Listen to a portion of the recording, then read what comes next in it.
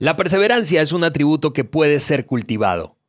Para lograrlo tendrás que vencer estos cinco grandes enemigos.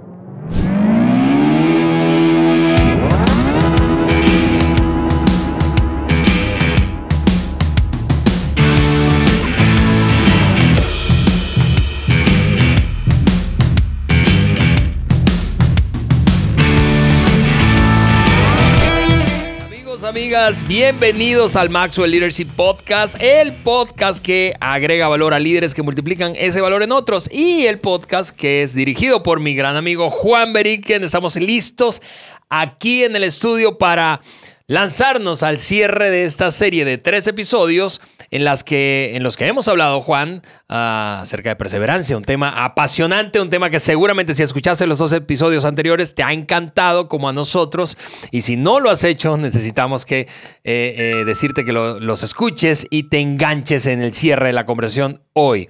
Seguramente... eh, pues hablando de perseverancia, te dijeron quizá alguna vez que solo sencillamente ne- necesitabas ser perseverante, pero no te hablaron del costo, no te dijeron cómo, no te dijeron de las expectativas o de los resultados. Y de eso se trata lo que hablamos en los dos episodios anteriores. Sin embargo, también tenemos que mostrarte la otra cara de la moneda y estamos hablando de lo que nos impide ser perseverantes. ¿Qué es eso que te impide a ti, que me impide a mí, que se atraviesa en el camino para dejar de ser perseverantes? Maxwell, el doctor Maxwell habla de cinco enemigos, Juan, y vamos a hablar de esos cinco enemigos en este episodio.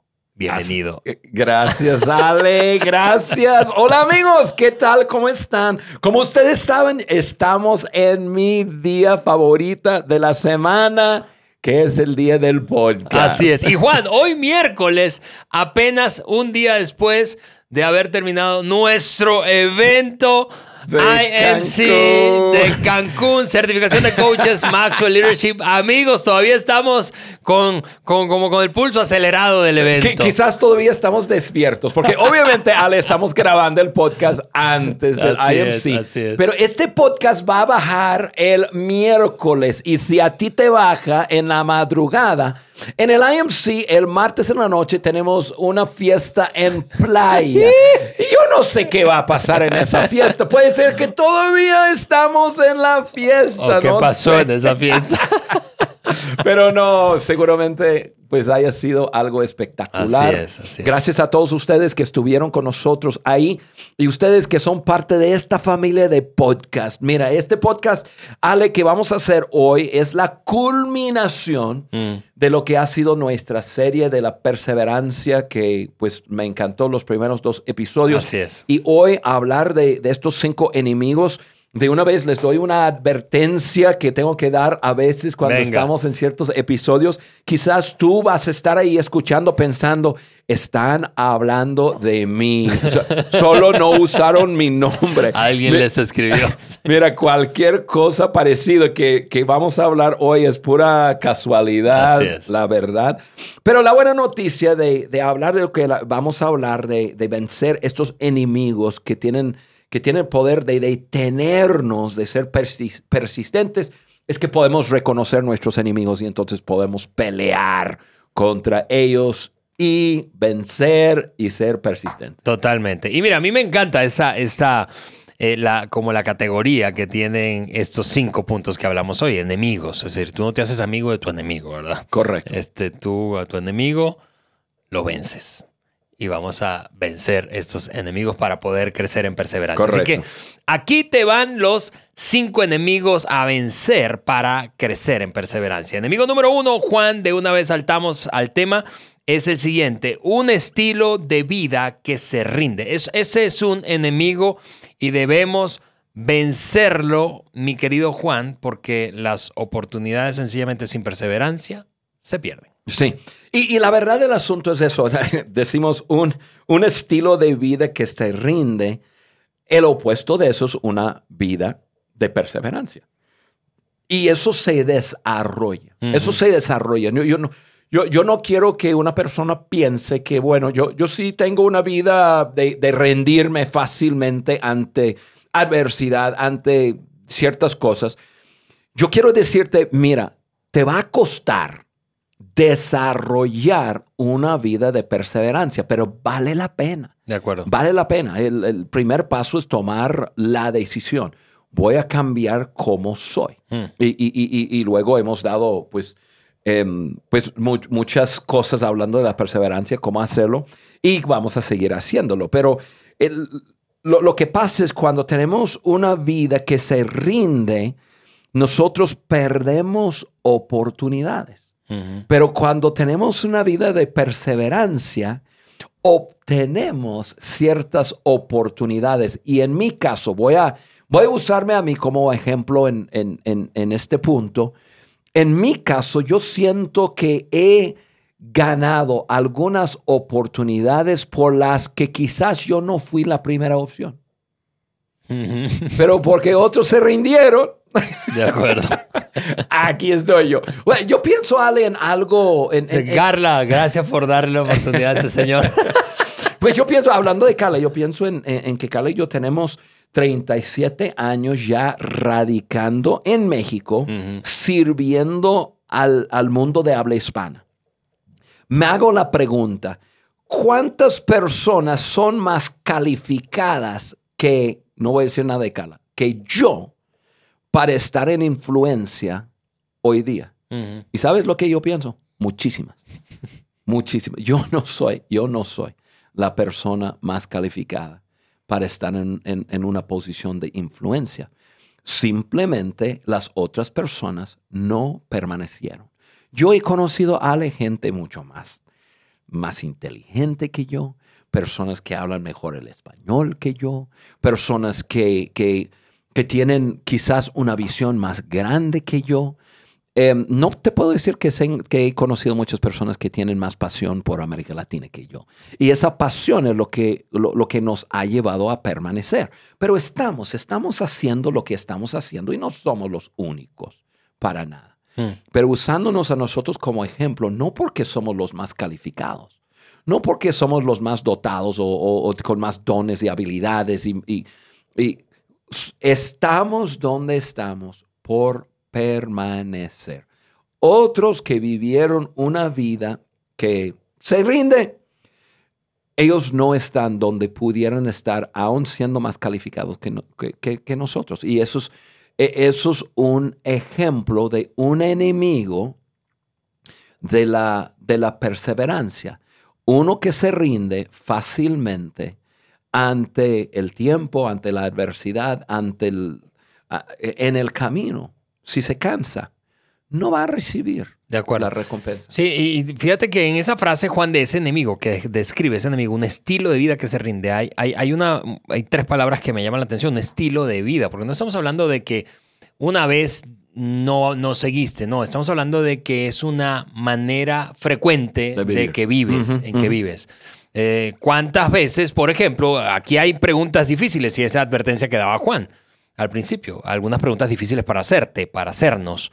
¿Cuántas veces en el último año renunciaste a algo o no continuaste o no terminaste? Oye, vamos a pensar, ¿cuáles fueron tus propósitos del año? Eso, eso, eso. Yo me voy a bajar 5 kilos, yo voy a... De acuerdo. yo- y, y- y- ¿Y dónde estás? ¿Sigues en el camino?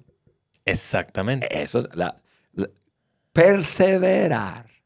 exactamente. Tienes, eh, produce grandes dividendos. Ale, un ejemplo de eso es, es lo que estoy experimentando en este momento, liderando lo que es Maxwell Leadership, todo lo que es la plataforma en español. Eh, Tengo 22 y personas me dicen, wow, ¿cómo se siente estar liderando al lado de, pues con, con John Maxwell, al lado de, de, de- de Mark Cole y, de otros? Y em, no, hombre, a mí me encantaría, o, o- a- a- o qué suerte, ¿no? Que te escogieron a ti.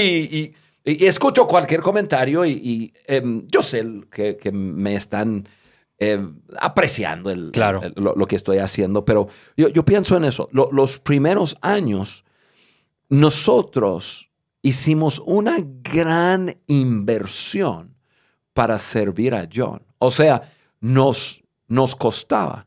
Porque teníamos una organización de liderazgo y conocimos a John Maxwell y John eh, nos preguntó, oye, ¿qué hago para ustedes? ¿Qué, qué hago para servir a América Latina? pues una vez al año, vente y enséñanos liderazgo. Ah, ok, lo haré. O sea, entonces nosotros sin darnos cuenta nos comprometimos a hacer eventos eh, que nosotros teníamos que costear o ver cómo le hacemos y nos comprometimos a John Maxwell a traer 200, 300 líderes de todos los países de América Latina para que él los enseñara. Y, ese desafío nos costaba y hacíamos cosas para, para, para hacer que eso se, lleve se llevara a cabo. Acá, hace dos semanas yo estuve en un país que conocí a, a, un líder que tenía 20, un poco menos de 20 años de no haberlo visto, que fue parte de los inicios. Él iba a los eventos que hacíamos en el año 2000, 2001, 2002 con, con John Maxwell.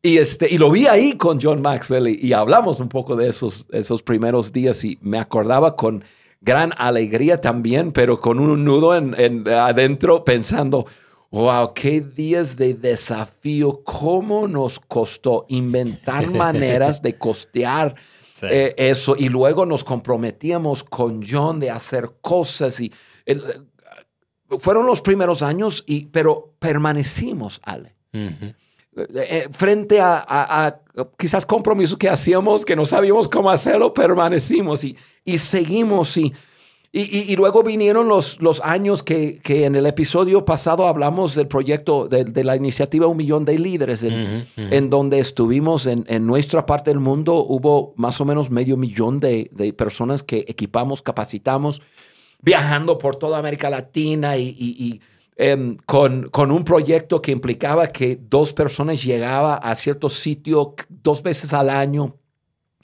y, instruía personas en un contenido y esas personas iban, tenían, tenían seis meses de compartirlo con, con su grupo y, y, cuántas veces, cuántas veces personas al último momento, un día antes de subirse al avión, decía, algo pasó, no puedo ir para, para enseñar y nosotros...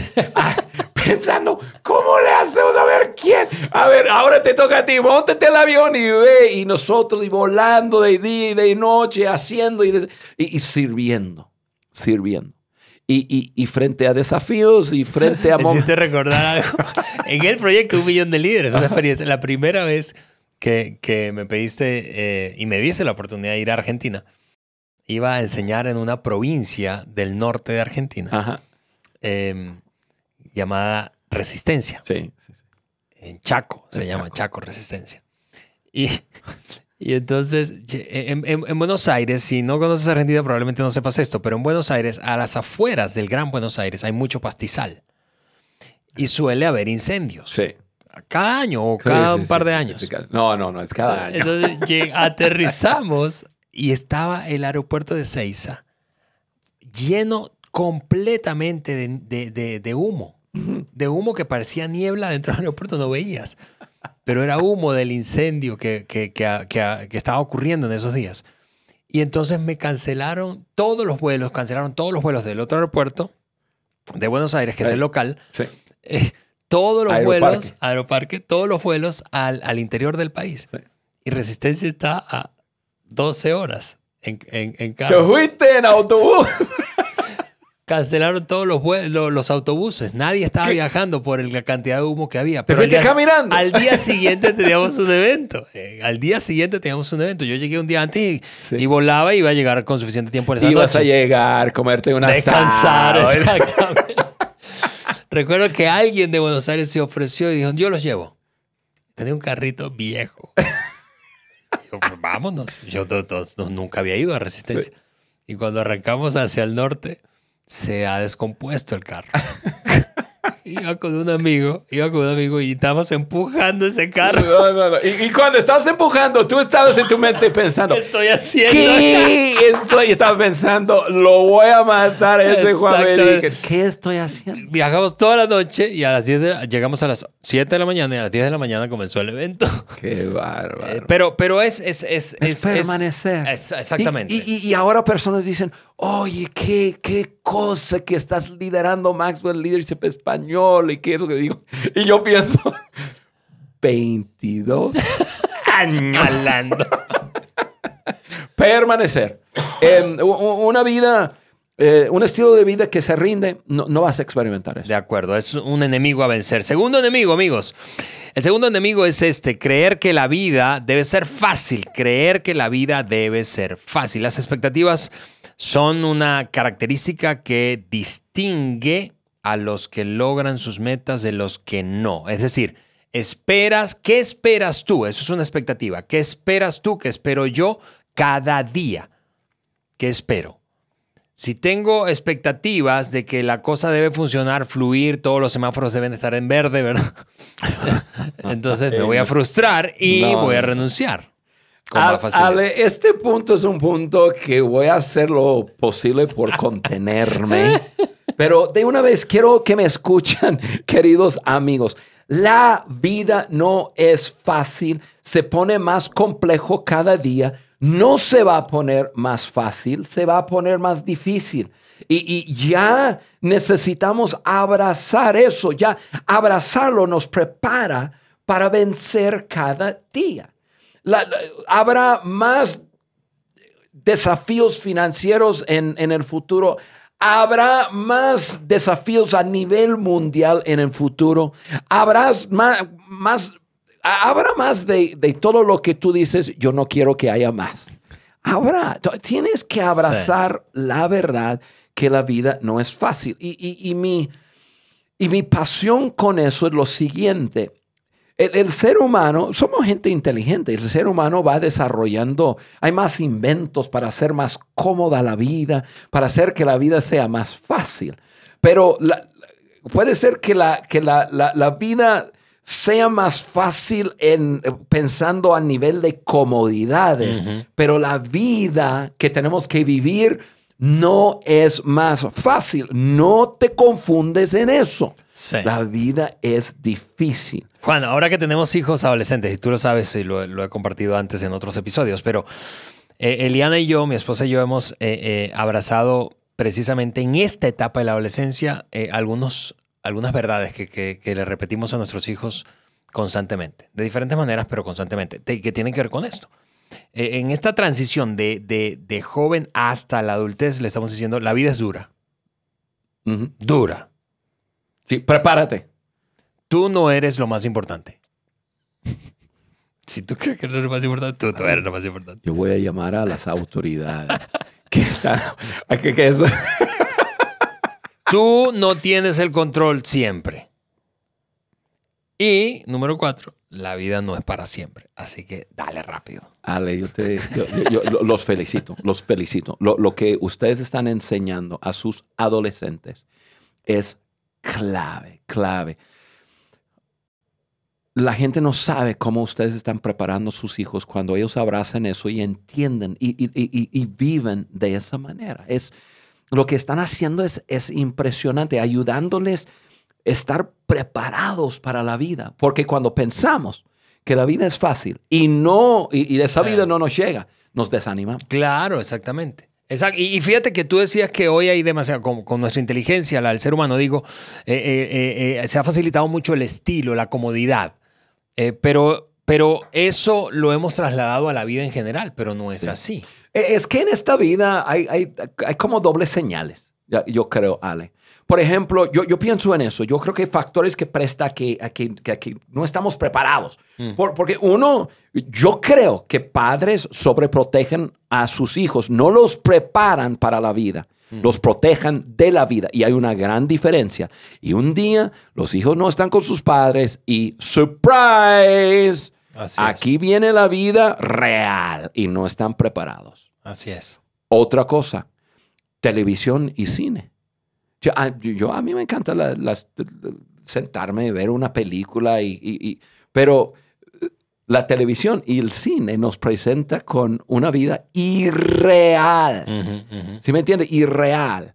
Eh, nos presenta que, que en, en, una hora y media, no importa el problema que haya, no importa la tragedia, no importa, entonces se va a resolver y la gente van a ver vivir felizmente para el resto de su vida. No, es real. Redes sociales. Tú te metes a redes sociales y estás viendo la versión, la mejor versión. De todos. De todos, así llevado a un extremo de todo el mundo. Y uno dice, la vida debe ser un paraíso. Y, no lo es. Y, no yo, hasta yo pienso, Ale, que que tú y yo somos personas de fe. Y, entonces estamos muy en contacto con iglesias y con líderes espirituales. Muchas veces los líderes espirituales no pintan una vida real a las personas. Pintan una religión que les cura todo. Que todo, que no, tú no, si tú te acercas a Dios, tú no vas a tener ningún desafío en la vida. Dios te va a arreglar todo. No es así. Yo tengo una relación con mi Padre Celestial, es mi mejor amigo. Dios no me, Dios, no me ha dado una vida cama de rosas. tengo mis desafíos. Tengo, Dios está conmigo para ayudarme a lidiar con esta vida. Así es. No va delante de mí para, para arreglar todo. Para que...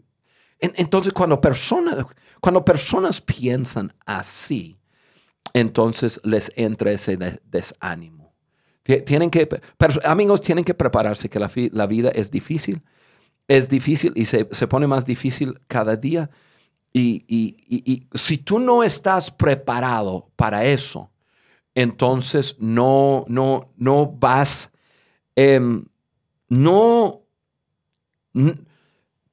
mira, ustedes que me están mirando ahorita en, YouTube, eh, yo quiero que me sigan mirando. Ahora, ahora te voy a decir algo. Ok, ustedes que me están mirando, ven que acabo de, empujar a Ale. Y este, él no sabía que le iba a empujar. no. Entonces lo empujé, lo empujé y se fue para atrás. Ustedes que me están escuchando. Ale no sabía que le iba a empujar, entonces se fue para atrás. ¿Por qué? Porque no lo esperaba. Ale, te voy a empujar. Resistió. Así es. ¿Por qué? Porque sabía. Ay, ¡Qué profundo somos! ¿Por qué? Porque sabía que venía. Es lo mismo con la vida. Si tú te preparas, si tú dices, esta vida me va a resistir. Yo tengo grandes planes, yo quiero grandes cosas, yo tengo grandes sueños, pero la misma vida me va a resistir. Y tú sabes, entonces estás preparado para empujar y seguir empujando. Eso es lo que tienes que hacer. Va a haber adversidad, va a haber prepárate y entonces ya empuje y la vida te va a resistir, pero tú sigues empujando y mira, así es como lo vas a lograr. Entonces, otro enemigo es creer que la vida es fácil. No lo es. No lo es. Muy bien. Enemigo número tres es creer esa creencia de que el éxito es un destino. Y nosotros hablamos ya bastante, hemos hablado en, en el podcast bastante del éxito. De hecho, tenemos una serie completa acerca del éxito eh, que comienza en el episodio número 154. Puedes escucharla y disfrutar cómo nos echamos un clavado en ese tema. Pero Juan, brevemente, creer que el éxito es un destino es un enemigo a vencer. Sí, porque cuando creemos que el, el éxito es un destino, si tardamos en llegar, porque siempre tardamos, entonces nos desanimamos. Sí. entonces, en ese episodio, yo me acuerdo, incluso em, me gustó mucho el episodio que hablamos en, cuanto a eso. Hablamos de que cada persona debe crear su propia definición del éxito basado en sus valores y su propósito en la vida y, luego vivir la vida necesaria para ser un éxito diario. El éxito no es un destino, el éxito es la vida que decides de antemano vivir que te va a llevar a realizar todo. o sea, el éxito es vivir el, eh, una vida de éxito todos los días. No es un destino es algo que vives, es algo que, que cada día te levanta. Y ¿sabes lo maravilloso de eso? Lo, que me encanta de que la, el, el, éxito no es, no, no, es, no es un destino. Y, y, el éxito es lo que yo vivo diariamente basado en mi definición del éxito y lo vivo. Si un día fracaso, dentro de pocas horas tengo otra oportunidad. Personas que creen que la vida es un destino nunca están, nunca, eh, siempre están esperando algún día Sí. tendré Sí, éxito. sí. Y eso va a tardar y se van a desanimar. Amigo, amiga, tienes que entender que el éxito es, no, no es un destino. El éxito es una definición que tú le pones basado en tus valores, basado en tu propósito y desarrollas un estilo de vida y el éxito es vivir ese estilo de vida de todos los días, perdón, vivirlo todos los días. Y en algún día que todos tenemos, fracasamos, en pocas horas nos levantamos de vuelta la mañana siguiente y podemos seguir viviendo esa vida de éxito. Así es, así que ahí está ese enemigo. El éxito no es un destino, creer que lo es es un enemigo a vencer. Enemigo número cuatro es básicamente falta de resistencia. Uno, un jugador, un ex jugador de, de- de la NBA. Es jugador y coach, que fue coach, coach. después, sí. y quienes no sabían, dato curioso, la imagen del logotipo de la NBA Sí. es de este hombre, una fotografía de este hombre, la silueta.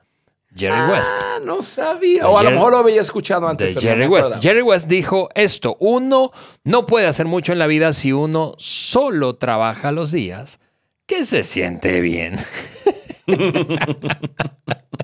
Eso me fascina, me fascina, me fascina, porque eh, esto pone énfasis en, en- en este, en este atributo, la resistencia o la perseverancia es un atributo del carácter. No nacemos con eso, lo desarrollamos. Nacemos emo- como seres emocionales, ¿verdad? Y nuestra tendencia es darle rienda suelta a las emociones. Pero Ale, realmente no hay mucho que decir en cuanto a, a- a esto. Eh, eh, eh, es una verdad. La falta de resistencia te va a llevar a, a- a- tú no eres persistente y no, no vas a, a vivir esta vida que estamos hablando. La, la clave está en, en- dices, ok, ¿cómo, ¿cómo vivo una vida de resistencia? O, o cómo puedo desarrollar esa resistencia? Y mira, amigo, amiga, ahí les va, les fácilmente les puedo decir, teniendo que enfrentar dificultades y problemas. Eh, una vez más comento que a veces nosotros eh, somos locos, ¿no? Eh, que, que somos personas de fe y este y, y a veces yo escucho a, a- a personas em, hablando de, de desarrollar su fe. Pues la verdad, Ale, la forma que uno desarrolla su fe es, eh, es enfrentando grandes desafíos. Y entonces yo así, yo siempre digo a la gente, ¿quieres desarrollar tu fe? Sí. Ok, repita esta oración conmigo. Dios, y repitan, Dios, mándame problemas. Y se despierta y dice, ¿qué? Yo- ¿Tú quieres desarrollar tu fe? Sí. Es lo mismo. ¿Quieres desarrollar resistencia? Tendrás que enfrentar dificultades Claro. y desafíos. Juan, ¿te acuerdas hace como unos nueve años, ocho, nueve años, cuando cruzamos todo México de norte a sur en bicicleta? Pre- sí, me acuerdo. pre- precisamente eh, en un proyecto, una iniciativa de, de- en, en ese momento, quien estaba al frente de las organizaciones sin fines de lucro de Maxwell, el del doctor Maxwell, eh, lanzamos, nos lanzamos ese reto de un World Relay que era un Sí. relevo, ¿verdad? De, de- de- lo tomamos en, en Nuevo Laredo y, entregamos en Tapachula. En Tapachula, en la frontera de, de Guatemala. Pero, pero nos aventamos eso en 30 días. Ajá. ¿Te acuerdas que nos agarró un huracán en Claro la que ventosa? sí. Yo, claro que sí. Ahí Y luego en la aquí en el antes, en el altiplano, en una ventisca así que No, grabamos no, no, con- fue to- todo nos pasó. de todo, de Todo todo. nos pasó, Es- incluyendo un chofer que se llama Alejandro Mendoza, quien arranca una mañana a las 5 de la mañana así como un loco, agarra un tope, mi bicicleta se va volando y termina desbaratado. O sea, yo, yo ya, ya me tocó, me tocó ahí ir a, a- a levantar pedacitos de mi bicicleta. Bueno, pero mi comentario no era por eso, que es lo único de las cosas que recuerdas, Juan, sino de la, lo, lo 2.600 kilómetros recorrimos. Y resistiendo. Si nos decían al principio, día uno, Yo recuerdo, el día uno tenemos un recuerdo muy bonito, que te dejamos eh, tirado a dos grados centígrados por allá. Después de andar en bicicleta, estar empapado de sudor, me dicen, sí, Juan, le dije, ya, ya terminé, terminé mi, mi parte, perfecto. Quédate ahí, ahorita llegamos. Ahorita fue después de una hora que está. Pero si el día primero, después de que casi te di hipotermia, sí. hubieses dicho, no, yo esta, esto no, esto no es para mí. No, no. Qué poca resistencia, no terminaría. Sí, pero yo no sé si. Entre más duro se pone, más, más me levanto a decir, esto lo vamos a conquistar. Así es. Y, pienso en eso, Ale, y, bueno, ha, ha, habido muchas cosas muy buenas en mi vida que me han ayudado a desarrollar eso, pero Vuelvo a ese ejemplo que siempre uso de Timmy, viviendo con mi hijo discapacitado por 32 años. Ese gran desafío en nuestras vidas produjo resistencia en varias áreas de nuestra vida. Tuvimos que, enfrentar grandes luchas, por ejemplo, en nuestros pensamientos y y en actitudes aprender a liderar nuestros pensamientos y actitudes, a liderarme a mí mismo, liderar en mi matrimonio, vencer en, relación con mis hijos y vencer en mi perspectiva en la vida. Pero ahora yo miro hacia atrás y digo, ¿en qué áreas yo soy una persona fuerte? Y veo, son áreas donde he tenido que, que luchar. De acuerdo. Entonces, amigo, amiga, si tú estás frente a un gran desafío, quiero animarte a luchar no, quizás la respuesta no es que alguien te resuelva el problema. Es más, hace poco tiempo estuve con un, joven que, que, me, que ha tenido grandes desafíos en la vida. Voy, a decirlo de esa forma. Y, y, ya frente a, un, frente a un gran desafío para él. Y Ale, yo tenía la manera de resolver su desafío. Y yo decidí, tomé tiempo y me gusta, me encanta, incluso le había ayudado mucho, pero me encanta ayudar. Yo dije, le voy a hacer un mal si yo le resuelvo la situación. Él necesita resolver, él necesita esa victoria. Hmm. Y, y, ¿por qué? Porque hay que resistir, hay, hay, que, hay que permanecer, hay que luchar y pelear. Y, y, y eso es lo que te animo a hacer. Eh, a, ti que, tienes una vida que dices, me falta resistencia. No buscas la salida fácil de tus problemas, enfréntalos. Sigue adelante, llega al otro lado y serás mejor por haberlo hecho. Excelente, gracias Juan. Último enemigo a vencer básicamente es este, falta de visión. Yo soy un amante de la visión en el sentido de que creo que todos, Juan, fuimos diseñados no todos fuimos diseñados para estar al frente de una visión, pero todos fuimos diseñados para tener una visión. De acuerdo. Y perseguirla. De acuerdo total. Quizá uniéndote a otros, estando tú al frente, pero sin visión, cuando la cosa se pone difícil y se va a poner difícil. Correcto. Entonces no vas a tener un, rumbo hacia donde caminar. Es la visión que, te ayuda a, a, seguir adelante. Así es. Ale, yo pienso así todo lo que se crea, en realidad se crea dos veces. Primero mentalmente o primero dentro de, nosotros y luego físicamente. O sea, todo comienza con una visión. No hay nada que existe que no comenzó primero dentro de la cabeza o el corazón de, de un ser humano. Y luego hmm. ya llega a ser algo tangible.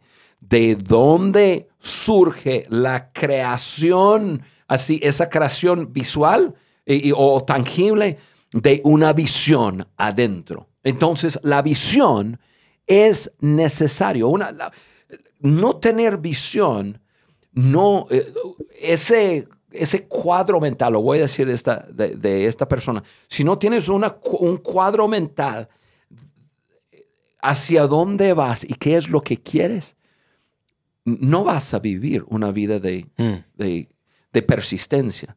Personas que viven con persistencia, persistencia tienen, tienen una, una visión grande que arde adentro, que lo, lo, tienen en la pantalla de su mente, está siempre delante y no les deja rendirse. La persona permanece porque lo, porque lo, lo tiene ahí. Podemos decir mente, podemos decir corazón, no, no sé dónde, pero lo tiene adentro. Y, y, ese es el valor de una visión. Eh, eh, la visión produce esperanza y produce también resistencia o permanencia, perseverancia para seguir adelante cuando las cosas se ponen difíciles. Pero la visión es un requisito. Tienes que tener una visión de lo que estás queriendo.